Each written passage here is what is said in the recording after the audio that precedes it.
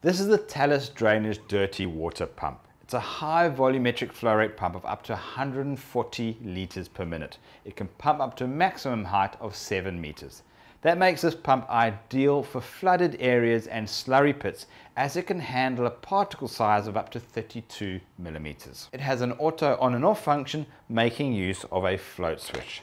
This can be overridden by just securing into the handle. This pump has the capability of draining all the way down to 10 millimeters. So it's practically removing most of the water out of that pit or cavity where it's pumping from. The pump is compact and can fit into a minimum cavity of 200 millimeters in diameter. The pump comes with a 10 meter cable and it's ready to plug and play. Adjustable float height settings, easy to carry, and it has a QR code which allows you to connect directly to the supplier's website for troubleshooting and installation diagrams. If this product information was useful, like it, share it, and you can subscribe to our channel.